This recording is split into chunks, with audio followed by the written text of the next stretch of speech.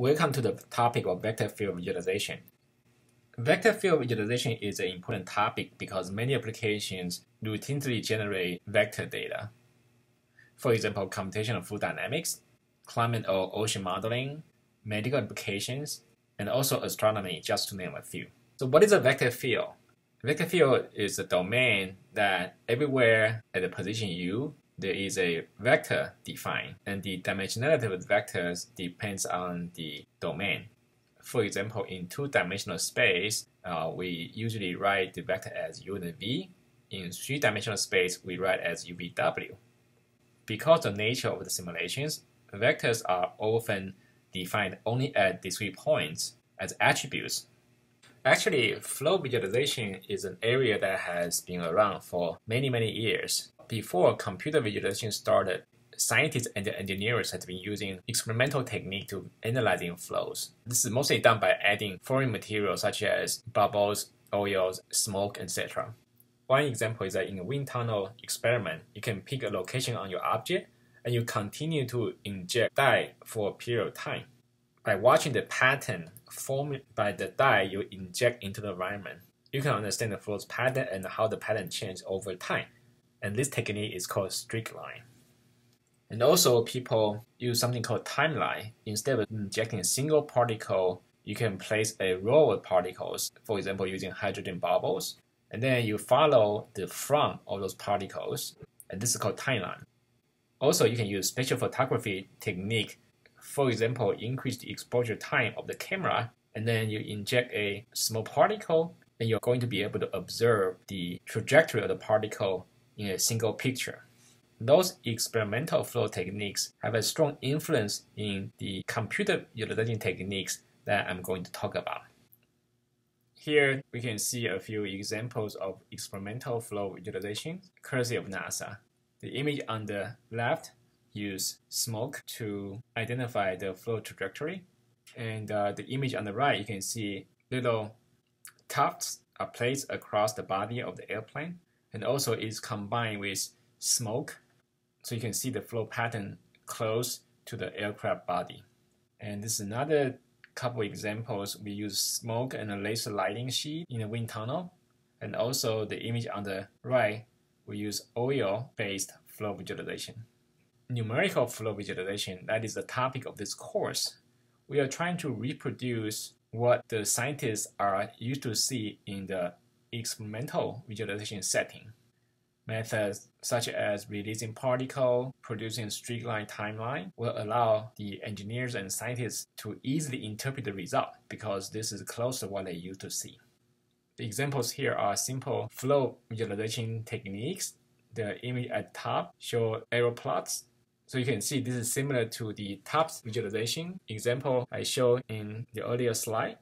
A lot of time, vector visualization is combined with scalar visualization. So the image at the bottom shows the contours of velocity. So you can see how the speed of the flow changes near the object.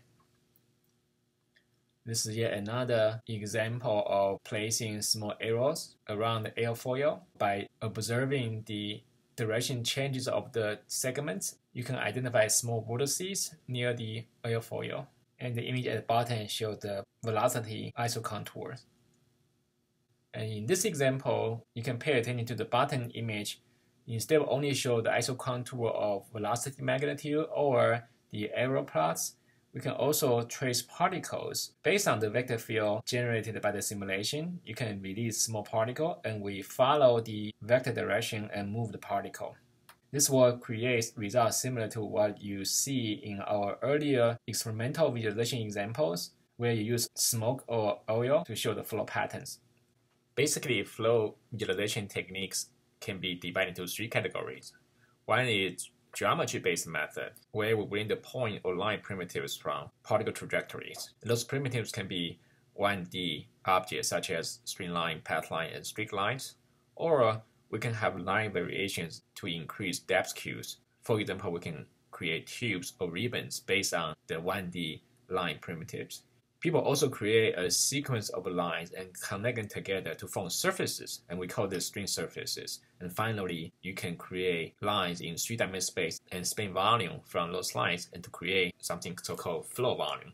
The second category is to create textures over a surface or three-dimensional volumetric space. Essentially, the textures are created in a way that the patterns follow flow directions. Well-known examples include the line integral convolution technique, or called LIC, and also texture splats. The third visualization techniques are more feature-specific. One example is to extract flow features based on the topology or based on physically meaningful phenomenon. Examples include critical points, that is where the vector velocity vanishes, vortex cores, that is the center of the rotation in the flow, or other more domain-specific features such as skin friction lines. Below, let me give you some examples that highlight commonly used flow visualization techniques. One is the particle tracing. So basically, it's the most fundamental and still the most popular method. What we do is we use numerical integration schemes, which I will talk about in our next lecture, to compute flow traces. This is done by releasing a particle from an initial seed point, and then we follow the particle based on the flow direction. And then after we create this line primitive and we display. Particle tracing, sometimes people call it local technique because you only visualize the flow starting from the given particle. You do not know what happens elsewhere. To obtain a more global understanding of the data, you need to compute more particle traces. However, for three-dimensional data, displaying a large number of particles traces will create occlusion, make the image more cluttered. The other challenge is that the effectiveness of the particle traces depend on where you drop your initial position, that is particle seeds. So in a way, you need to know the salient regions in the flow field before you start computing your particles. There's a lot of research done in the past in terms of how to select particle seed locations. On the computational side, particle traces is computed by numerical integration. When you want to compute a large number of particle traces, it's still not cheap. The other thing is the data access pattern depends on flow direction because given an initial seed location, the particle can go anywhere in the three-dimensional domain.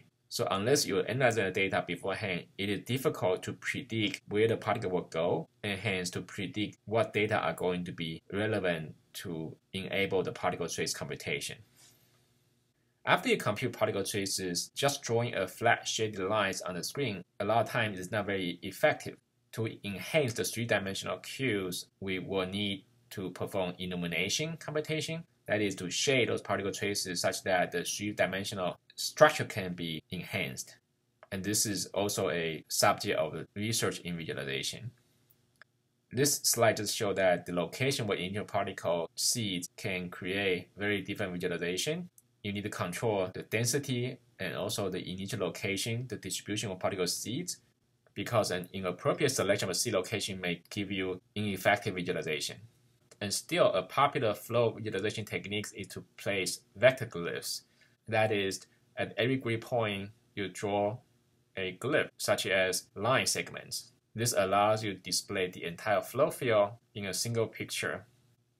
This is analogous to hedgehogs that is, you draw line segments over the entire domain. There are still a lot of applications utilizing this hedgehog techniques. For simple flow, this oftentimes is, is quite sufficient. And in visualization research, people have studied some perceptual issue such as how long, how dense you should place the glyphs so that it's much easier for our vision to pick up the important flow features.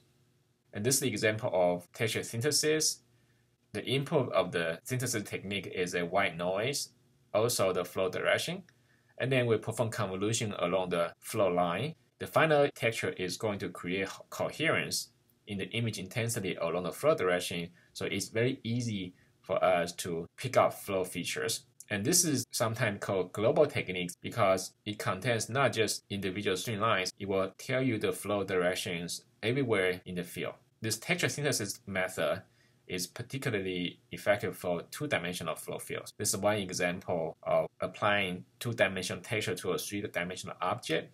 You look at the image closely, you can identify several small eddies, and you, you can also identify region that has stray or called laminar flow. And you can compute this in three-dimensional space and then perform volume rendering. And this is just compare between using the flow texture on the right and uh, the traditional line techniques on the left So as you can see, the texture on the right highlight the global flow directions more effectively. And this is actually also similar to the output of some experimental flow visualization, where people apply oil to the surface and send the object to the wind tunnel, and they will get some similar result. That is the pattern formed from this experiment to the these textures that generated by computers.